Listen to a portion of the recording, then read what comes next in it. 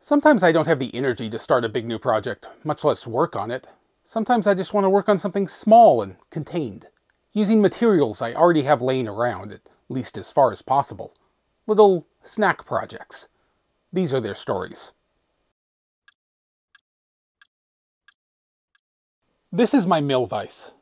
I keep meaning to replace it with something better, or at least remove the swivel base that I almost never use but eats up a noticeable percentage of my total working volume.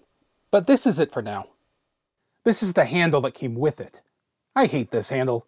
It's cumbersome and slow to use, so I bought this one off eBay. It seems to have been owned by Mike in the past. Thanks, Mike, it's been a big improvement. Except it's just too easy to knock off. You do want these removable for access and clearance and portability reasons but it shouldn't be that easy. So I figured, let's add a basic ball detent. I've always meant to make one of those anyway. Uh, detent is kind of a vague term for basically any kind of mechanism that holds something in a specific position or orientation. The little ball that holds the socket in place on a wrench? That's a detent. The pawl in the wrench, which only lets the socket rotate in a single direction. Another detent. The little clicks you feel turning the wiper control in a car? Detent, detent, Detent. A ball detent is possibly the simplest version of this. Drill a hole. Drill a larger hole, but not quite all the way through. Put a ball bearing in the hole, followed by a spring, and close up the wide end. The spring pushes the ball bearing down. The ball projects through the narrow hole, but it can't go all the way through. It can be pushed back up against the spring with a bit of force. Match that with a divot or groove in the mating surface, and you've got a detent. First, I went through a box of ball bearings and Found one that seemed like a good size. Next, I needed a spring. Sadly, my spring collection was not up to the task. I had to order an assortment to get ones that fit, but now my spring collection is that much more capable. I whipped up a prototype version in some scrap to make sure it would function well enough, and it did. There was a tangible click as the bearing seated into the little divot. So I did it for real in the vice handle. Aligning the flat of the internal hex seemed daunting, until I realized I could use a reasonably true piece of scrap as a rest.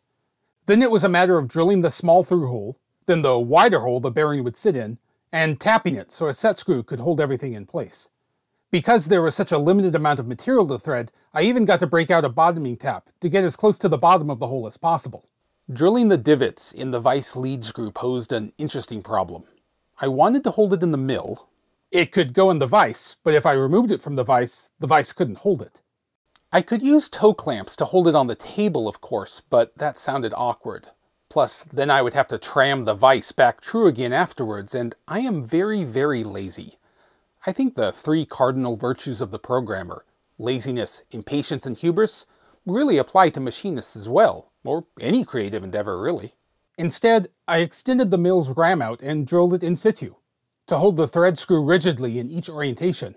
I closed the vise on a little machinist jack, which I could adjust back and forth in length so that the target face on the lead screw was leveled as desired.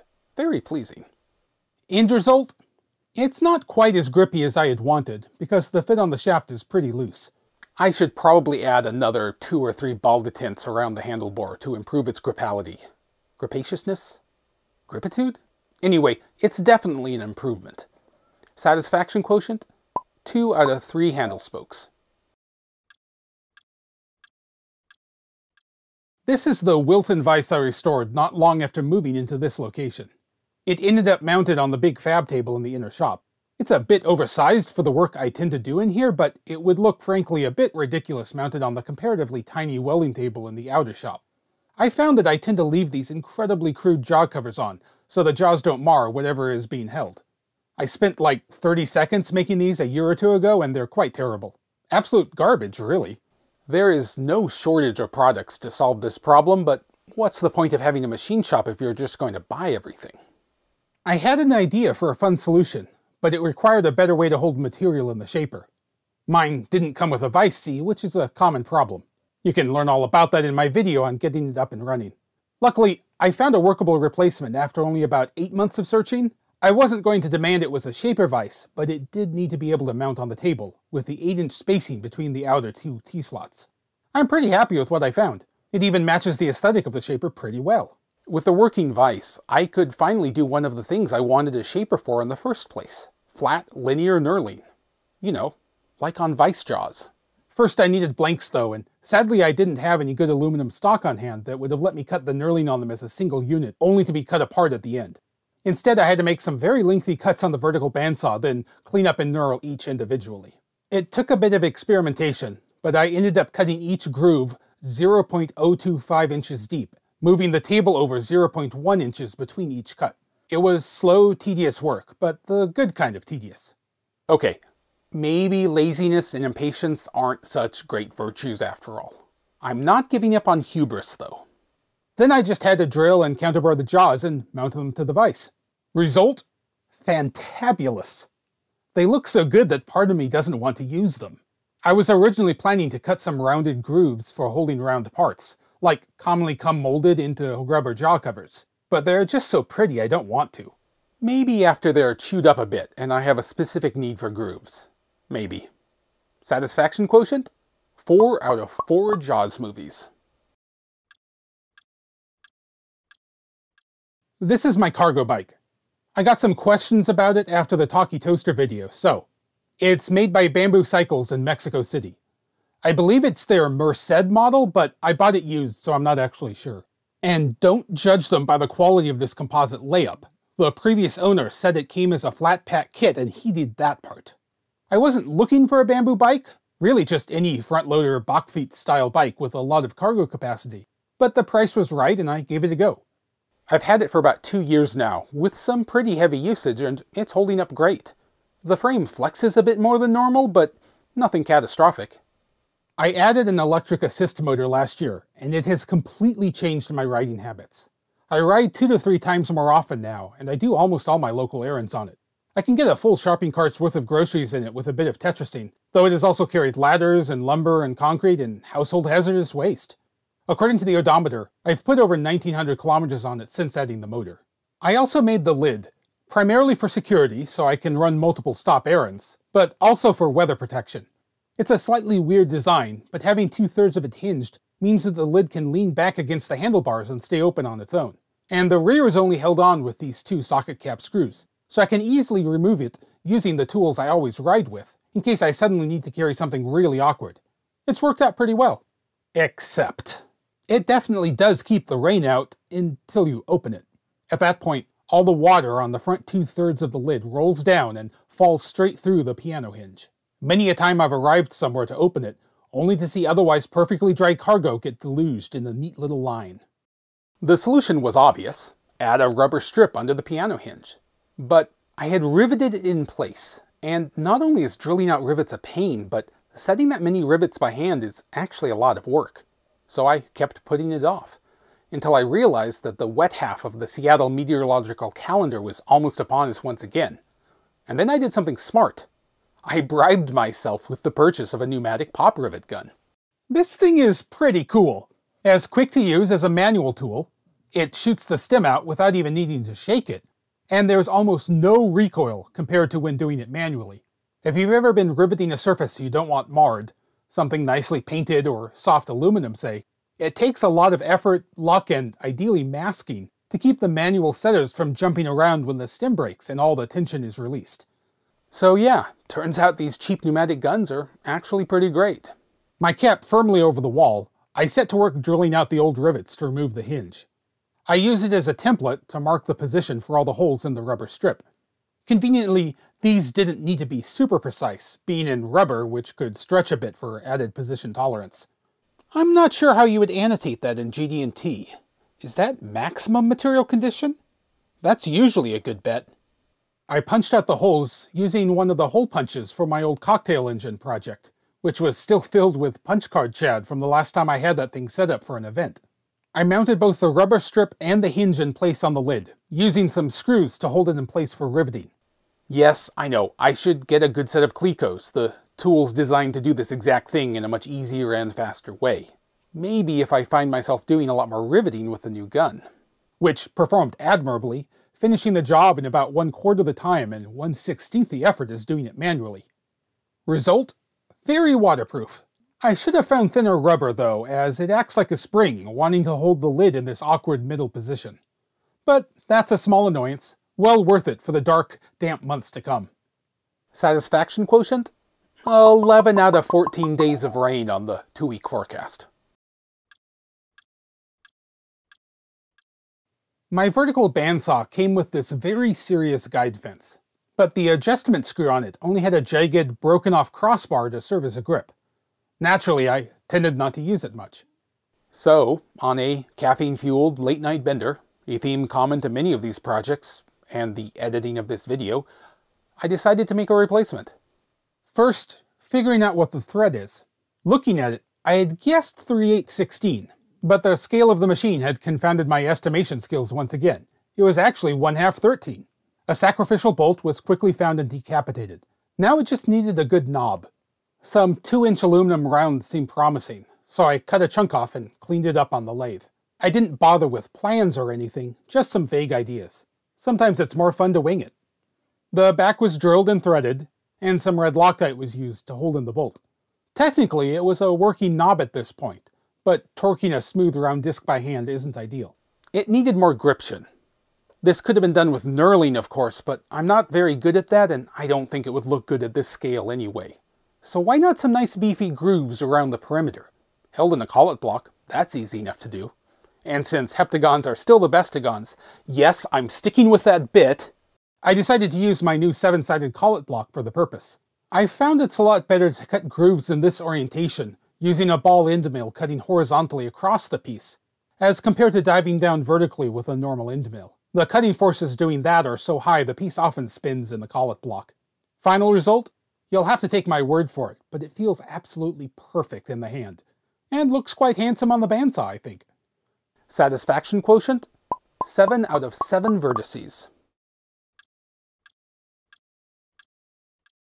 One last project, this one medium-sized.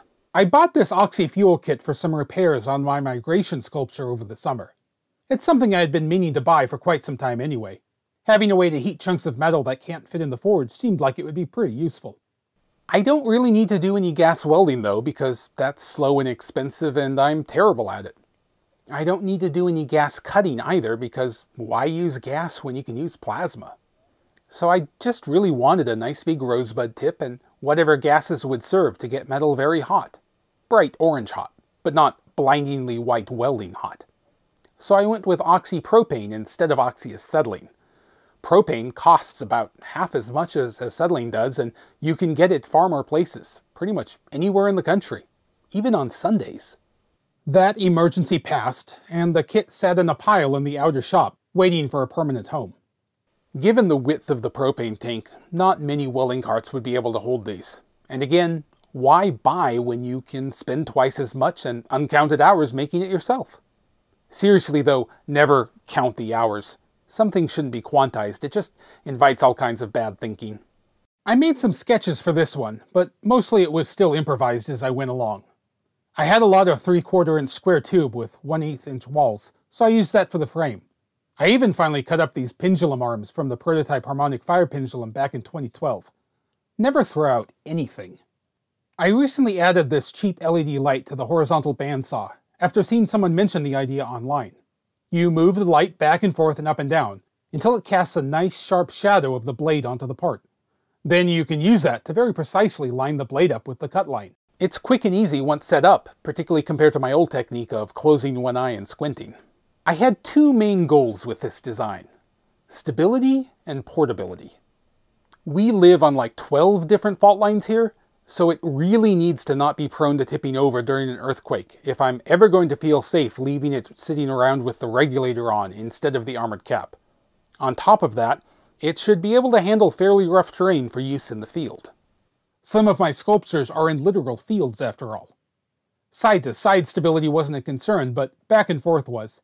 This would be improved by the deep base and some wheels, but adding some more mass down low certainly wouldn't hurt.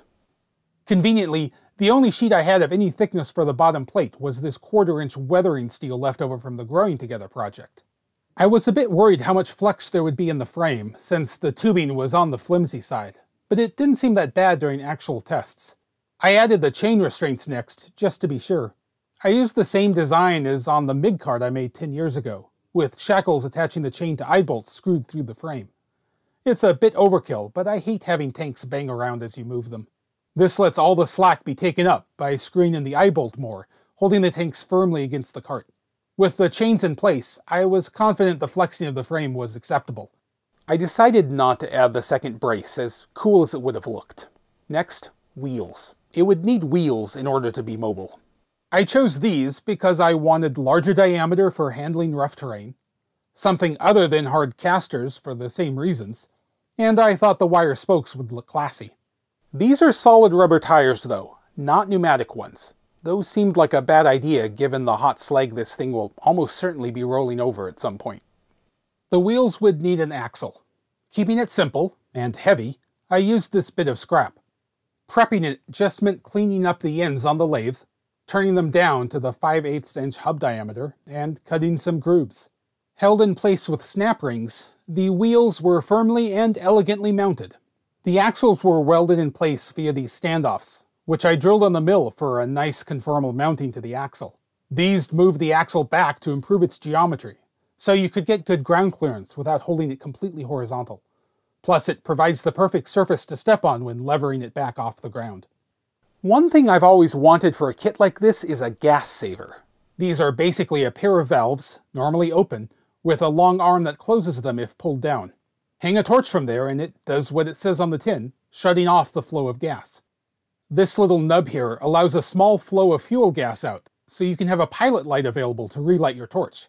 With the gas saver, you can be working on a project with a torch, then hang it on the hook when not needed. The gas flow stops. Then simply pick the torch back up, starting the gas flow again, and relight it off the pilot light. This saves gas, hence the name, but more importantly for me at least, it also saves mental focus points. I have a lot of trouble concentrating on a problem when I know there is something consuming a valuable resource, burning dollars and emitting carbon, while I stand there unable to focus on the exact problem that, ironically, is what is keeping me from getting back to using the torch. So, yeah, it seemed like a good investment. I just needed to figure out a good way to hang the torch off the rod. These are usually used in glass studios for smaller torches that can hang easily off a hook like this. I could have attached it with some wire, but instead I made a completely over-the-top little hook that just perfectly holds the torch with about 20 thou of clearance. I have no defense for this, other than it made for a really enjoyable night out in the shop. With that, it was down to fitting out the cart with all its accessories. First, a reel for wrapping the hose around, made out of some 4-inch pipe. I marked the matching curve with a compass and freehanded a pair of tabs with an angle grinder and belt sander to hold the hoses in place. I need to remember to freehand stuff more often. Just because I can do something perfectly on the lathe doesn't mean that I have to. A little basket shelf thing for holding the armored cylinder cap and goggles and other random bits and bobs. It's a literal pain to work with, but I love using expanded metal mesh for things like this, as dust can't accumulate in the bottom. And this will live in the outer shop, where things get very dusty at times. Some handlebars to make moving it around a bit easier. To check the proposed angle, I first cut this little test piece, and then committed to it on a piece of 7 8 inch stock. With an upvote to hold them perpendicular, welding them in place wasn't too hard.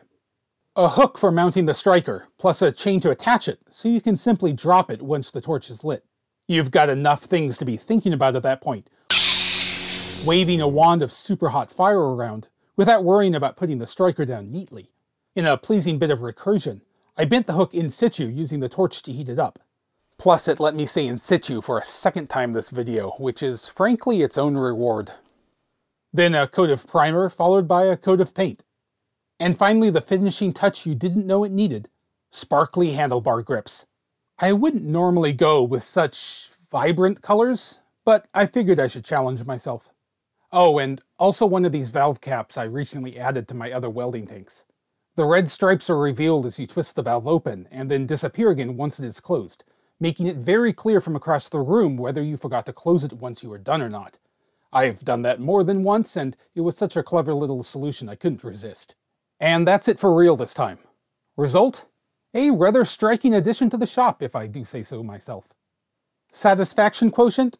Let's round up and say 2,000 out of 2,000 pounds per square inch. Well, that's enough for this video. Tune in next time for the restoration of a Geochron device.